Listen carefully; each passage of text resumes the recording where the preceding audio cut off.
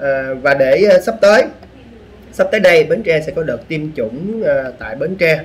Thì mọi người cần lưu ý một số điều sau đây trước và sau khi tiêm chủng. Thì điều thứ nhất à, trước khi đi tiêm chủng là phải chuẩn bị thông tin giấy tờ chứng minh được độ tuổi và công việc của mình. Để chứng minh là bạn đến lượt và quyền ưu tiên được tiêm vaccine covid à, khai báo các thông tin cá nhân trên ứng dụng sổ ứng dụng sổ điện tử và khi có yêu cầu của cơ quan chức năng khi có yêu cầu mình sẽ khai báo trên ứng dụng điện tử. Thì điều thứ hai là chuẩn bị hồ sơ, giấy tờ liên quan đến sức khỏe của mình. Nếu bạn đang tiềm ẩn một số bệnh như là tim mạch, đái tháo đường, bệnh thận mạng, béo phì, dị ứng thuốc, thì cần xuất trình bằng chứng là bạn có bệnh lý đó và tư vấn bác sĩ trước khi tiêm. Đó là điều thứ hai. Điều thứ ba là tránh dùng steroid trước khi tiêm. Các chuyên gia y tế khuyến cáo tránh dùng steroid một tuần trước khi tiêm chủng à, các steroid như là Pemistum và các à, uh, dexamethasone thường dùng trong điều trị viêm khớp dạng thấp và bệnh lý tự miễn khác. Thì không nên dùng steroid một tuần trước hiện tại và sau khi tiêm chủng vì steroid ức chế mạnh quá trình viêm và làm suy giảm miễn dịch của cơ thể dẫn đến à, giảm đáp ứng đối với vaccine COVID-19 thì bạn cần thông báo về kế hoạch tiêm vaccine COVID-19 cho bác sĩ điều trị bệnh của mình. Nếu đang sử dụng thuốc steroid, bác sĩ có thể kê toa những thuốc có tác dụng tương tự nhưng à, không làm ức chế miễn dịch cơ thể. Đó là điều thứ ba. Điều thứ tư là bạn phải đi tiêm đúng giờ, đúng hẹn và tuân thủ thực hiện 5K tại điểm tiêm chủng thì à, đến chính xác địa điểm và đúng giờ tránh bị chậm trễ và ùn tắc trong đám đông. Điều này đặc biệt quan trọng khi các địa điểm tiêm chủng mở cửa hàng loạt. Bạn cần phải quan sát những người đi tiêm nhằm giữ khoảng cách tối thiểu và khuyến cáo thực hiện đúng 5K.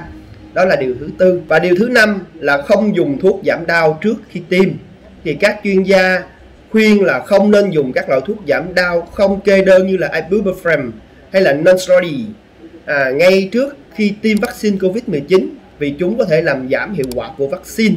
Ibuprofen là một loại thuốc chống viêm sẽ ngăn cản nỗ lực của vaccine trong việc huấn luyện hệ thống miễn dịch của bạn và phản ứng với virus bằng cách làm tăng tình trạng viêm trong cơ thể.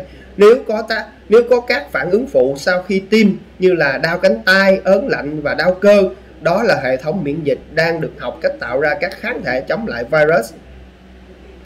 Thì đó là điều thứ năm. Điều thứ sáu là phải bù nước cho cơ thể à, nước không chỉ quan trọng đối với sức khỏe hàng ngày mà còn có thể kiểm soát được thậm chí là ngăn ngừa sự khó chịu do vaccine Covid-19 gây ra. Đó là điều thứ sáu. Điều thứ bảy là không uống rượu bia vào ngày tiêm chủng. Không chỉ có vậy trong thời kỳ đại dịch các chuyên gia khuyến cáo tránh uống rượu bia để tối ưu hóa sức khỏe giữ gìn sức khỏe tốt nhất giúp hệ thống miễn dịch của bạn ở trạng thái tốt nhất. Để giúp chống lại virus nếu bạn bị phơi nhiễm hoặc là giúp tạo ra kháng thể chống virus khi bạn tiêm chủng.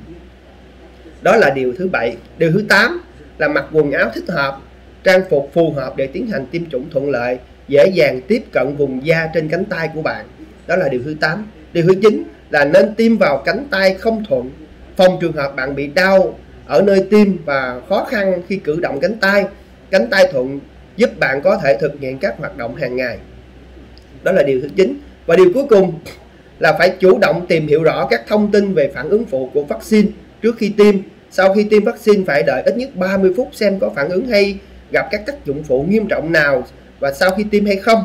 Thì nếu có bất cứ triệu chứng nào phát sinh bạn phải báo ngay cho bác sĩ nơi tiêm, bạn cần lưu giữ giấy xác nhận tiêm vaccine phòng Covid-19 không nên lái xe ngay sau khi tiêm vaccine để phòng những trường hợp là tình huống bất ngờ.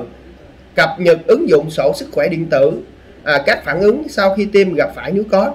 Không bôi đắp thuốc hoặc là bất kỳ những cái gì lên vết tiêm à, ghi nhớ tên địa chỉ số điện thoại của bác sĩ và theo dõi cơ sở y tế cần liên hệ trong trường hợp khẩn cấp. Bạn nào cảm thấy video hôm nay hữu ích và muốn truyền đạt những cái thông tin trước và sau khi tiêm cho mọi người hãy giúp mình chia sẻ video này trên Facebook hoặc là gửi trong message tin nhắn cá nhân. Mình cảm ơn các bạn rất là nhiều. Xin chào tạm biệt và hẹn gặp lại trong bản tin tiếp theo.